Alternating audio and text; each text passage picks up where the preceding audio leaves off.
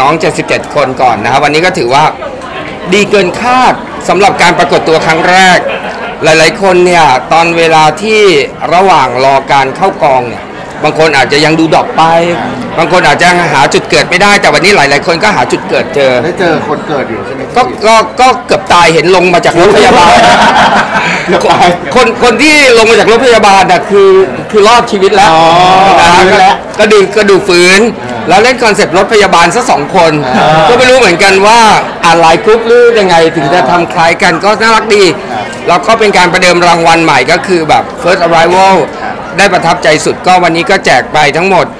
รางวัลละ 56 คนก็ 3 0 0แสนรางวัลรางวัลเอ่อสเอ่อเขาเรียกว่าปลอบใจอีก 4 คนคนละ 10,000 ก็จ่ายเป็นแคชไปอีก 3 4 0 0 0 0 บาท ให้กำลังใจน้องๆควัรับนแรกก็แจกกระจายเลยนะคะรางวัลที่เราก็เราเราแจกกันเกือบทุกวันฮะ เพราะว่า MGI แล้วก็มิสแกนของเราเป็นบริษัทรวยมากครับ จริงๆฮะรวยรวยรวยเราเพื่อเอาเงินไปฝาก 400 ล้าน ปีหน้ามันจะมีการแบบ ขบวนพาเลทหรืออะไรมันยาวมันจะยาวกว่านี้เลย คือครั้งเนี้ยเราเอ่อแจ้งทุกหน่วยงานเลยนะครับครับไม่ว่าจะเขตไม่ว่าจะสอนอต้องขอบคุณอีกครั้งหนึ่งที่เมตตาแล้วก็ เอ่อเราต้องเข้ากองวันอาทิตย์จริงๆนะต่อไปเราก็ต้องยึดวันอาทิตย์เป็นหลัก เพราะว่ามิฉะนั้นเนี่ยจะทำให้มีผลกระทบต่อการจราจรที่เกี่ยวข้องกับการทำงาน วันนี้ต้องขออภัยชาวเขตแถวห้วยขวางรัชดาด้วยอาจจะติดขัดในช่วงเช้านิดนึงนะครับ แต่ว่ามันเป็นวันอาทิตย์ก็ก็ก็พยายามจะหลีกเลี่ยงให้มากที่สุดนะครับก็สนุกแล้วก็เล่นใหญ่เกินเบอร์เยอะมาก เล่นแบบไม่ทะนุถนอมใครเลย ถูกใจไหมครับพี่ ถูกใจซะถูกใจแบบ ความใหญ่เนี่ยก็สุดละ แต่ว่ามีการ create ก็เยอะอ่า อ่าก็เช่นที่บอกนะฮะ ambulance มาจะเป็นจะตาย บางคนก็ลงทุนน้อยแต่ได้ scene เยอะอ่ามอเตอร์ไซค์บ้างสามล้อบ้าง บางคนก็มาพร้อมผู้ชายถอดเสื้อ อันนี้ก็จะเป็นแบบเขาเรียกว่าสร้างจุดน่าสนใจนะฮะให้มันแตกต่างนะครับก็เอาเป็นว่าดูกันแบบเฮฮาปาร์ตี้แต่หลังจากนี้น้องทุกคนก็เข้าโหมดซีเรียสละ สำหรับการเก็บตัวจริง ๆ นะครับ ก็หวังว่าเราจะเห็นดวงดาวหลาย ๆ ดวงที่เกิดขึ้นท่ามกลางในวันนี้ที่ยังไม่เด่นชัด ว่าใครสามารถเป็นดาวดวงนั้นได้ครับพี่ทวดอยากมีอะไรแนะนำน้องๆไหมคะเออตอนนี้นะครับผมว่าเกือบทั้งหมดเนี่ยสาม B แรกอะ confirm ได้ที่ 2B คือ Body Beauty เนี่ย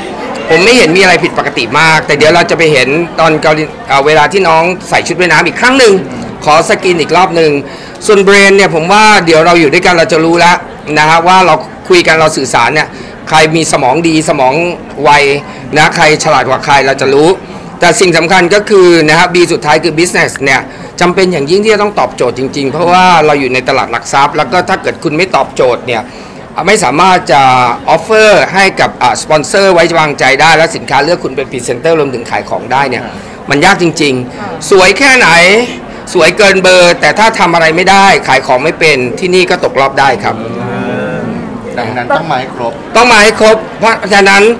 ในปีนี้เราจะมีการสอน การทำคลิปตัดต่อคลิปประมาณ 1 วันนะครับ ในการสอนเลยล้วนๆเลยโดยที่เราไม่ได้สนใจเรื่องอื่น เราจะเอายูทูบเบอร์เราจะเอา editor คนที่ตัดต่อคลิปเก่งๆในสไตล์ของ TikTok ชอบโซเชียลชอบมาสอนน้องโดยเฉพาะเลย เราจะให้เขามีความรู้จริง ๆ ไม่ใช่หมายความว่าอ่าตัดมาแล้วคิดว่าอย่างนี้ดีแล้ว ถามว่าดีไหมดี แต่ถามว่าสำหรับการที่ทำให้คลิปเราติดเนี่ยคำว่าติดหมายความว่าเอ่อเวลาที่เราปล่อยออกไปปั๊บมันจะขายของได้เยอะ อันเนี้ยมันจะมีเทคนิคอย่างอื่นผสมผสานครับ ดังนั้นต้องมาให้ต้องมาเดี๋ยวเดี๋ยวจะมีการสอนประมาณอีก 2 วันนะครับ แล้วก็ทีป๊อปก็จะเข้มข้นขึ้นนะเพราะทีป๊อปของเราเนี่ยแค่เริ่มต้นว่าใครจะเป็น 8 ดาวเต้น ในวันวันในวันที่ 5 เราก็โหวตใช้เงินปันกันไปประมาณล้านหนึ่ง ร้านอ่าก็ดีนะฮะ เต้นกันไปแล้วเราก็เป๋าตุง ครับ เพราะฉะนั้นสำหรับ G-POP เนี่ย เราจะอ่าแข่งขันกันอยู่ตลอดเวลาจาก 77 คนเนี่ย เราจะไหลลงมาเรื่อยๆๆๆๆจนเหลือประมาณสัก 20 คน แล้วเราจะไปเปิดคอนเสิร์ตที่ภูเก็ตนะครับยังได้หมดแต่ 20 คนนั้นไม่ได้หมายความว่าคุณจะไปสู่ทีม T-POP ของเรานะครับ เราจะขับออกเรื่อยๆ นะครับ หลังจากมีการโหวตมีการโหวตมีการเสียเงินครับนะฮะเราจะเหลือเฉพาะคนที่มีกระแสมีเงิน และความสามารถเนี่ยพอประมาณครับเพราะว่าเราจะส่งไปฝึกเกาหลีเดี๋ยวทำให้ใหม่หมดนะต่อให้เต้นแล้วขาสั่น แต่ถ้าเราเห็นว่าได้เดี๋ยวเราจัดการให้ใหม่นะเพราะว่าเราได้อ่าเจ้าแบงค์นะพี่ชายของแบมแบม GOT7 มาเป็น partner ในในส่วนนี้แล้วก็กำลังติดต่อสถานที่ทุกอย่างที่เกาหลีไว้ให้อยู่ครับคนมองปีนี้มันยากไหม ยากครับ เพราะมันมีมันมีไม่ครบอย่างที่แบบเราใฝ่ฝัน บางคนมี beauty queen แต่อาจจะไม่มี T-Pop บางคนมี beauty queen แต่ยังไม่มีbusiness บางคนมี business แต่ความ beauty queen อาจจะยังน้อยอยู่ เพราะฉะนั้นเนี่ยตอนนี้มันเป็นช่วงระหว่างว่าใครดีก็ปาดได้นะครับ เพราะว่าคนขายเก่งนะฮะก็อาจจะแบบเอ้ยถ้าไประดับอินเตอร์มันสงสัยจะตกรอบแรกอ่าเราก็ต้องพูดกันตรงๆ ถูกไหมฮะ ก็เป็นไปได้